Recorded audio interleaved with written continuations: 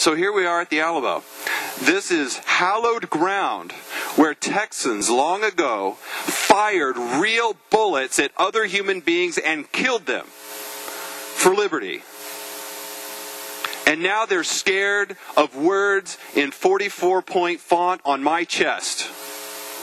Get out of here, you're dangerous. You can't have a sign here. You can't practice free speech here. We're scared of your unspoken words. Oh my goodness, how pathetic has this nation become? This nation of Texas deserve to be overrun. Okay, but we all do really for our sins. The red hand syndrome. I just coined this term this afternoon as I was thinking about what I saw at the Alamo. The red hand. Did you all see this at the crosswalks? It goes boop, boop, boop. I guess so the blind people don't wander off into the road and get run over.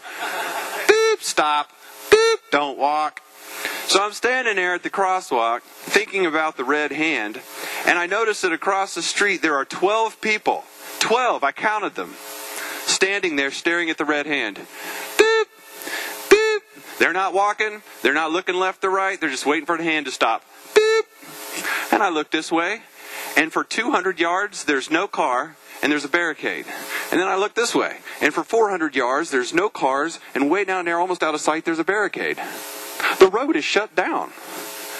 Beep, don't walk. Beep, and the sheep will just stand there. What? What's stopping you from crossing the road? Beep. What? Just cross the road. What's stopping us from abolishing abortion? The Supreme Court just goes unconstitutional, unconstitutional, nope, and we go, I'll just stay here.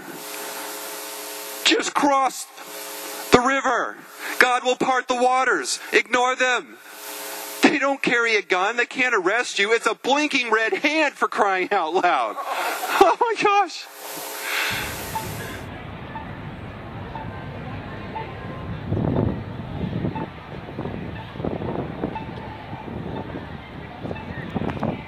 You know, you guys can go across because they shut the road down.